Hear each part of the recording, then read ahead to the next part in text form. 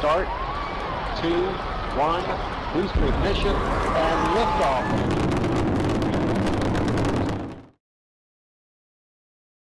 Ciao a tutti e bentornati ancora una volta su Indie Gameplay Ita, secondo, o in realtà è il numero uno episodi di Indice, ormai rubrica che ha preso ufficialmente questo nome, dove vi racconto le, cosa è successo nella settimana, quale secondo me è il gioco a cui porre più attenzione e vi informo sulle notizie diciamo che ricevo e che posso comunicare. Iniziamo analizzando la settimana dove ho pubblicato tre video e quello che io vi consiglio è senz'altro ehm, tra tutti e tre i giochi su tutti For the King 2.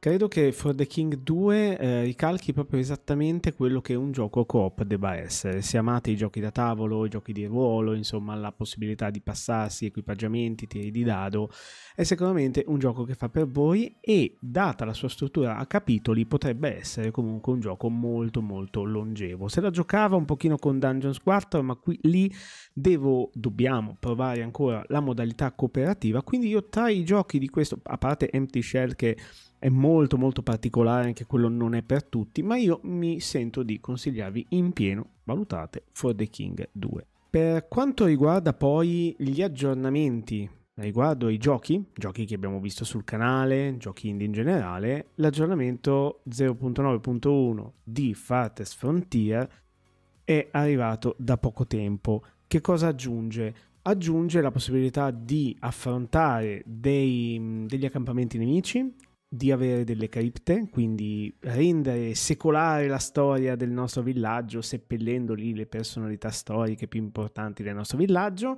e anche la possibilità di gestire meglio gli storage, gli inventari, quindi eh, scegliere quali risorse, in quali quantità, quindi riusciremo a eh, pianificare meglio tutti i nostri inventari, tutti i nostri depositi. E questo è un aggiornamento molto interessante. 0.9.1 stiamo arrivando ormai a gioco ultimato da questi sviluppatori che hanno fatto anche Green Dawn, che secondo me è un gioco migliore per quanto riguarda gli hack and slash a Diablo 3 e 4. Quello su tutta la linea e ve lo confermo. Eventualmente se avete qualche domanda o volete altri gameplay di Green Dawn, non fate altro che scriverlo sotto nei commenti.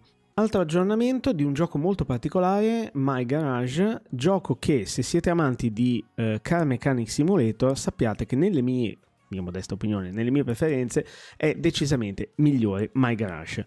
Perché? Perché vi consente di costruire un motore da zero, sbagliando, non mettete l'olio, bruciate il motore, non avvitate le viti, eh, spanate il motore, insomma ci sono tante tante possibilità.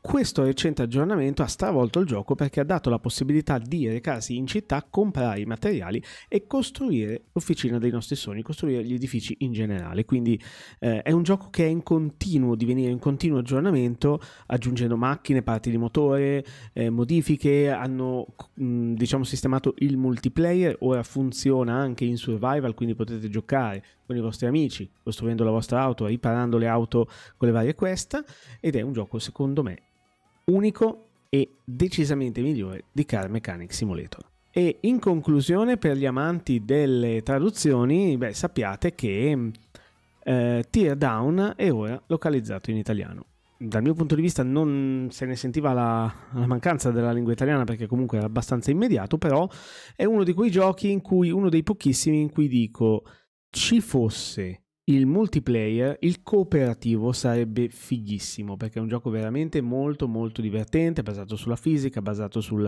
voxel, quindi cubetti un po' alla Minecraft, dove dobbiamo pianificare il nostro percorso per completare le varie missioni nei tempi limite e quindi evitando di far scattare gli allarmi, demolendo tutto usando un'infinità di mezzi. Gioco veramente molto interessante e le eh, recensioni parlano appunto eh, confermando quello che io ho detto.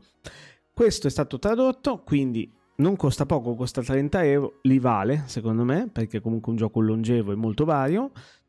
Qui si conclude il primissimo episodio dopo l'episodio 0 di Indice. Ovviamente parola a voi, ditemi se ho dimenticato qualcosa, se è successo qualcos'altro nel, in questa settimana, se avete qualche segnalazione da fare semplicemente un commento su quanto avete visto.